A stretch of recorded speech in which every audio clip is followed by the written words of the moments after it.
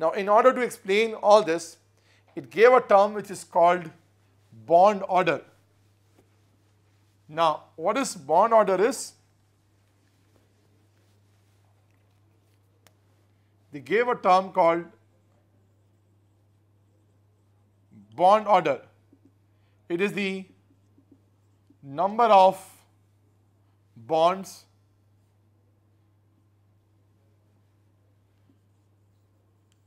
between the two atoms in a molecular species. Now, MOT said this bond order can be determined by doing the half of NB minus Na. What is this NBs? It's number of electrons in bonding molecular orbitals and Na is number of electrons in anti-bonding molecular orbitals. Now, once we know the bond order of that particular molecular species, we can easily predict certain things which are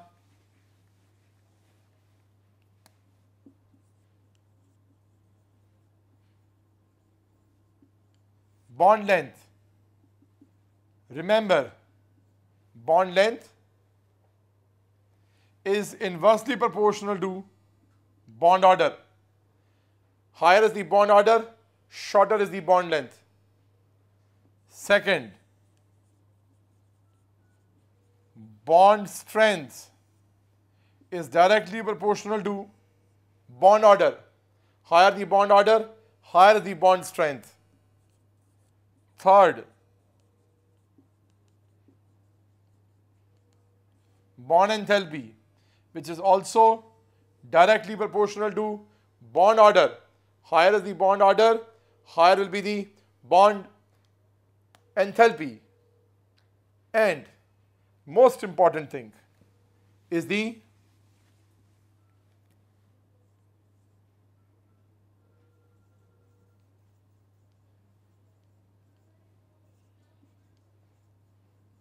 molecular stability is also directly proportional to bond order. Because higher is the bond order, higher is the, higher is the mo molecular, molecule stability. So, molecular stability is also directly proportional to the bond order. And if two species are having same bond order, the one with the more electron in the bonding molecular orbital will be more stable. Because the electrons when present in bonding molecular orbital leads to what lower energy. So that's why those molecular species which are having more electrons in the bonding molecular orbitals will be definitely more stable having lower energies.